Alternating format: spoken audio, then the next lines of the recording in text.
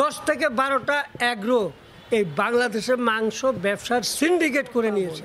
আমি মনে করি যে এনবিআরের শুধু মতিউর রহমান আরও কত মতিউর রহমান আছে এই সাদেক অ্যাগ্রোর মাধ্যমে কালো টাকা সাদা করছে। অবাক হবেন, আমাদের প্রাণী সম্পদ, আমার একটা আবেদন ছিল, আমাদের প্রাণী সম্পদ মন্ত্রণালয় এই যে কোটি কোটি টাকা অপচয় করতেছে নাস্তা গরুর চামড়া বিক্রি করতে পারতেছি না।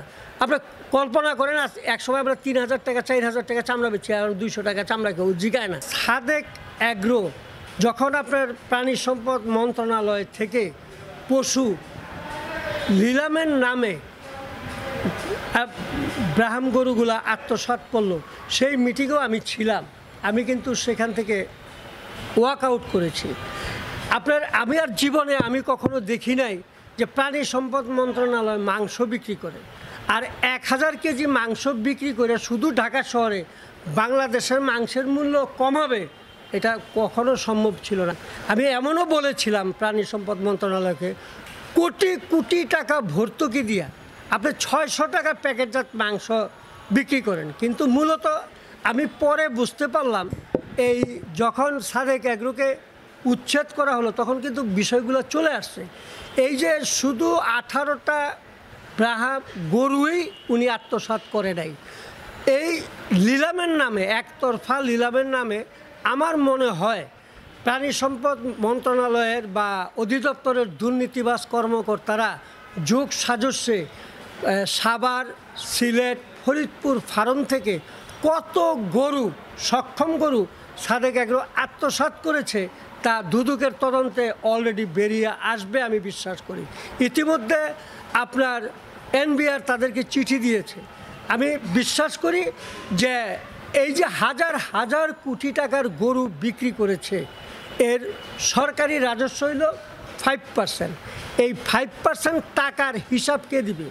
আপনার সিটি কর্পোরেশনের মেয়র একাত্তর টিভিতে একটি কথা বলেছে যে, খাল উদ্ধারই তাদের জন্য বড় সাজা। না খাল উদ্ধার তাদের জন্য বড় সাজা না এই খাল যে উনি বিশ বছর ব্যবহার করেছে। এই রামচন্দ্রপুর খালে যে ময়লা ফেলেছে, যে ময়লাগুলো ঢাকা সিটি কর্পোরেশন এখন পরিষ্কার করছে এটা একটা খরচ আছে। আমাদের বাড়িঘর যদি সরকারি জায়গায় পড়ে এবং সেটা যদি ইফেকশন হয়, তাহলে ইফেকশনের খরচ আমাদেরকে দিতে হয়। আর সাদেক এগ্রুপ বিশ বছরে হাজার হাজার কোটি টাকা কামায় নিছে। এই ময়লা পরিষ্কার করার টাকা কে দিবে? এই যে জবাইখানা ঢাকা সিটি কর্পোরেশন অনুমতি ছাড়া উনি জবাইখানা করে শত শত গরু এখানে জবাই করেছে এবং কুরবানি দাতাদেরকে সহযোগিতা করেছে, তাদের কাছ থেকে পয়সা নিয়েছে মাগনা তো করে নেই। এর হিসাব কে দিবে? আজকে যদি সাদেক এগ্রোর কাছ থেকে আপনি ঢাকা সিটি কর্পোরেশন হিসাব না নেয় এবং তাদেরকে এই হিসাবের আওতায় না আনে, তাহলে আগামীতে আমাদের দেশে অ্যাগ্রো ব্যবসার যে দুর্নীতি, এটা বন্ধ করা যাবে না। আমি বারবার বলেছি টিভিতে, সারা বাংলাদেশের অ্যাগ্রোরা জড়িত না। দেশপ্রেমিক অনেক অ্যাগ্রো আছে। দশ থেকে বারোটা অ্যাগ্রো এই বাংলাদেশের মাংস ব্যবসার সিন্ডিকেট করে নিয়েছে। খলিল যখন পাঁচশো টাকায় মাংস বিক্রি করার ওয়াদা করল তখন তারা ছয়শো পঞ্চাশ টাকায় মূল্য নির্ধারণ করল। এর কারণ হলো তারা জেতা গরু বেচে পাঁচশো ষাট টাকা, পাঁচশো টাকা। আর আমরা যদি মাংস বিক্রি করি পাঁচশো টাকায়, তাহলে তো তাদের গরু বিক্রি হবে না। এই যে তাদের ব্যবসায়ী স্বার্থকে রক্ষা করার জন্যে আজকে থাইল্যান্ড থেকে তারা গরু আনছে। এটা তো আমার জানা ছিল না। অবাক কাণ্ড, আমেরিকা থেকে তারা গরু আনছে, ভারত থেকে গরু আনছে, মিয়ানমার থেকে গরু আনছে। কোন ক্ষমতা বলে? আমি মনে করি যে এনবিআরের শুধু মতিউর রহমান আরও কত মতিউর রহমান আছে, এই সাদেক অ্যাগ্রোর মাধ্যমে কালো টাকা সাদা করছে। এটা আমাদের মেয়র, আমাদের এনবিআর, আমাদের ভোক্তা অধিকার, বের আমাদের দুর্নীতি দমন সংস্থা, তদন্ত করলেই পরিষ্কার বেরিয়ে আসবে। আমাদের দেশে খারাপ কিছু লোক থাকবে। তো এই খারাপ লোকগুলাকে আইনের আওতায় আনতে হবে। এখনও পর্যন্ত মাংস ব্যবসায়ীরা বুঝতে পারে নাই। আজকে আটশোশো টাকা মাংসের দাম, কয়টা মাংসের দোকান খোলা আছে? একসময় আমরা প্রতিদিন ঢাকা শহরে পাঁচ হাজার গরু জবাই করতাম। এখন পনেরোশো থেকে ষোলোশো গরু জবাই করি। এই যে মাংসের দোকানগুলো বন্ধ হয়ে গেছে, এটা তো মাংস ব্যবসা অনেক সময় বোঝে যে আমি বেশি দামে বেচতে পারলে বোধহয় আমি লাভবান হব। না খলিল প্রমাণ করছে। যেমন একসময় সিটি সেল, আইতে দশ টাকা, যাইতে দশ টাকা। কয়টা মানুষ মোবাইল ব্যবহার করছে? আজকে যখন বাংলাদেশে এই মোবাইল ফোনের রেট কমায় দিছে, দেখেন প্রতিটা ঘরে ঘরে মোবাইল ব্যবহার হচ্ছে। এই ব্যবহার বিধিটা আগে জানতে হবে। আমি যদি কম দামে মাংস বিক্রি করি, তাহলে আমার দোকানে প্রতিদিন দশ থেকে বারোটা গরু বিক্রি হবে এবং মাংসের দোকানগুলো খুলে যাবে। কিন্তু যখনই মাংসের দাম অস্বাভাবিক হয়, তখন কিন্তু মাসুল আমরা বিক্রেতারা দিই। আমার ক্রেতাকে যদি আমি সুযোগ করে দেই, আমি একটা গরু না বেচা, পঁচিশটা গরুর থেকে যদি আমি পঁচিশশো টাকা লাভ করি, তাহলে তো আমার অনেক টাকা। এই কথাটা সবাই তো বুঝতে পারে নাই। এটা বুঝাইতে হবে। এটা বোঝানোর জন্য সরকারকে চেষ্টা করতে হবে। যেমন একটি কথা আমি আপনাকে বলতে চাই। আপনি হয়তো অনেকেই কিছু জানেন না। সাংবাদিকতা করেন। পশু আমরা যদি মাংস নাও খাই, আমাদের এটা জবাই করতে হবে। পশুর বর্জ্য অপরিহার্য।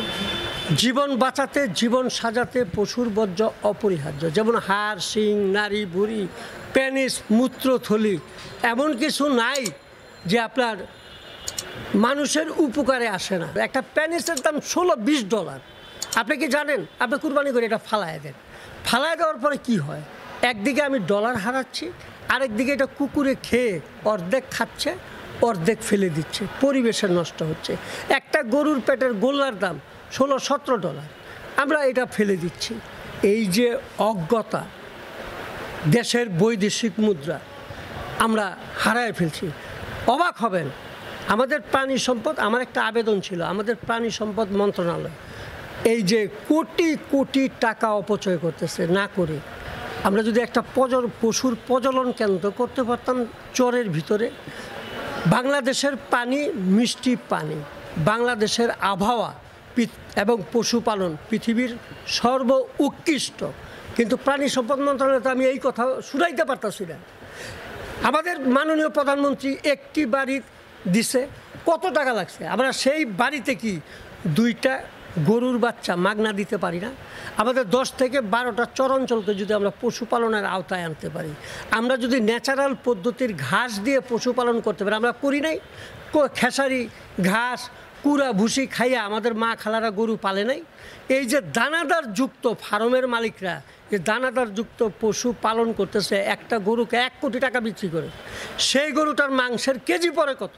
একটা হিসাবে দেখা গেছে পঞ্চাশ হাজার টাকার উপরে একটা মাংসের কেজি পড়ে এটা কোনো কথা হইল? যারা অবৈধ টাকা কামায়, যে সমস্ত সচিবরা, টাকার অভাবে তারা এক কোটি, দেড় কোটি টাকা তা কুরবানি দিয়ে বসে, এই বিলাসিতার থেকে আমাদেরকে বাইরে হয়ে আসতে হবে। আমাদের রপ্তানির চাহিদার কোনো শেষ নাই। আপনি জানেন আমরা দ্বিতীয় অবস্থানে আছি। এক নাম্বার হলো গার্মেন্টস, দ্বিতীয় রপ্তানি খাত হলো আমাদের পশু পশুর চামড়া। আমরা ধ্বংস করে দিচ্ছি এই খাতটাকে। কেন? হান্ড্রেড, রপ্তানি আমদানির উপরে গার্মেন্টসের রপ্তানি। আর আমরা শত বা কৃষি পণ্য রপ্তানি করতেছি এই যে পশুর বর্জ্য। এটাকে যত্ন নিচ্ছি না। ছুরির আগায়, লেস কাটের জন্যে সিক্সটি ফাইভ এই থার্টি ফাইভ পার্সেন্ট চামড়া নষ্ট হয়ে যাচ্ছে। কেউ দেখার নাই। ফাইভ বিলিয়ন মার্কিন ডলার আয় করার লক্ষ্য নিয়ে আমরা আধুনিক শিল্পনগরী করছি। শেখ হাসিনার পরিকল্পনা এইভাবে ব্যস্ত যাচ্ছে, আজকে গরুর চামড়া বিক্রি করতে পারতেছি না। আপনি কল্পনা করেন আজ এক সময় আমরা তিন হাজার টাকা, চার হাজার টাকা চামড়া বেচছি আর দুইশো টাকা চামড়া কেউ জিগায় না।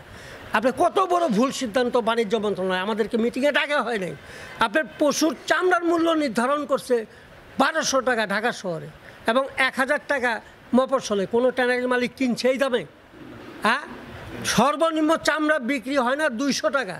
এমনও আছে আমি একশো টাকাটা কিনবো না। ওনারা তো চামড়ার মূল্য নির্ধারণ করে ছেড়ে দিছে। আজ পর্যন্ত বাণিজ্য মন্ত্রণালয় তাদের ঘোষিত চামড়ার মূল্য বাস্তবায়ন করার জন্য কোনো সিদ্ধান্ত নিছে? কোনো মিটিং করছে? মন গড়া সব কিছু বাংলাদেশে চলে না। আপনাকে হিসাব করতে হবে দেশ এবং জাতিকে আগে। আপনি এই দেশের মন্ত্রী, আপনি এই দেশের শিল্পপতি, আপনি আপনারটা দেখবেন। আপনি সরকার একটা দেখবেন না, আপনি জাতিরটা দেখবেন না। এইভাবে তো একটা দেশ চলতে পারে না। আর একটি কথা বলি, আপনি সাংবাদিকতা করেন, সাংবাদিকতা সম্পর্কে যান। যে যে জিনিসটা জানে, তার মতামত নেওয়া উচিত। আপনি মতামত নেবেন না, ঘুরবেন না, কোনো কিছুই আপনি পাইবেন না। আপনি এই ঢাকার শহরটাকে পরিচ্ছন্ন রাখার জন্য স্মার্ট সিটি করার জন্য একজন সুইপারের প্রয়োজন। আপনি সুইপারের সাথে মেয়রের আলোচনা করতে হবে কীভাবে আপনি নগরটা পরিষ্কার, পরিচ্ছন্ন করবেন। আর মাংসর বিষয়গুলা আমাদের সাথে আলোচনা করতে হবে। আমাদের সাথে আলোচনা করে একজন মন্ত্রী কি পাবে মাংস সম্পর্কে?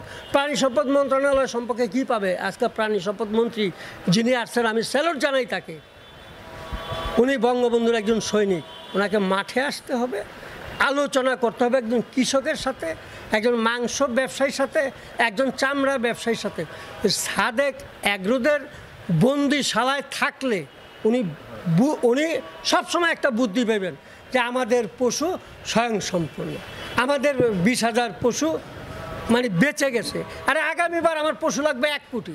আর আপনি বিশ হাজার পশু বাইচা গেছে, আপনি বাহাবা দিচ্ছেন। এটা না, এটা হইতে পারে না।